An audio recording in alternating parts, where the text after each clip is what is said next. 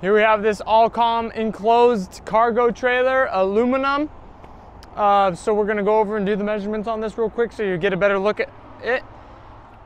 Two and five sixteenth inch ball here with the seven round connector. These do have brakes on them. Got your jack right there. V-nose up here in the front with the sloping V-nose as well. Right here we got our load ratings.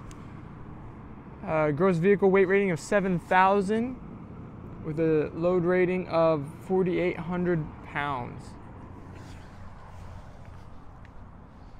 LED lights across this. Tandem axle setup here.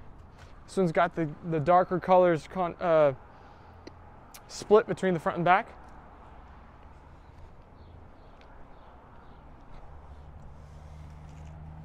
Open up the back here. LED lights on there. It does have the license plate holder with a light right there and these bumpers as well to help it keep it keeps it nice.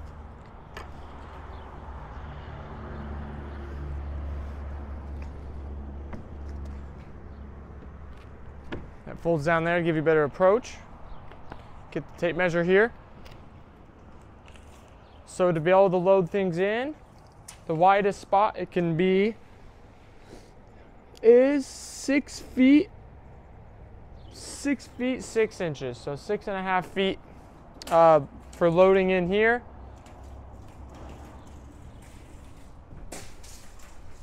Actual interior space between these, between the fenders is six feet, seven inches, but it doesn't matter because you gotta load it up through there and then actual space seven feet three inches height.